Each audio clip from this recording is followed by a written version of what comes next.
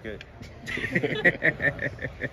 Can you just walk us through, you know, your mindset today coming in here and like how do you feel about your performance? Uh, my mindset today coming in here was to uh, do the best I can in all drills and just show my improvement on the things that I got better on over the years.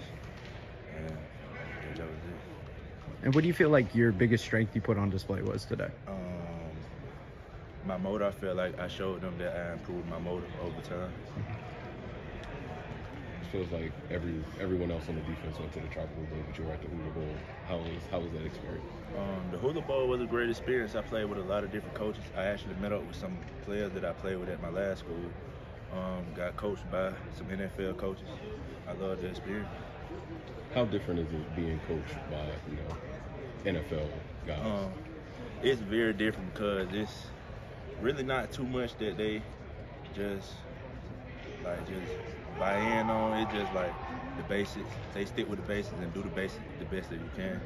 That's how they get through it. Was there anything specific you learned from that those NFL coaches that you brought today? Um, it's just football. I've been playing it all my life. Yeah, they they instilled it in my head and not to overthink. How do you deal with the pressure and the nerves of performing in front of everyone? Just let God handle. It. Anyone else? Good? All right.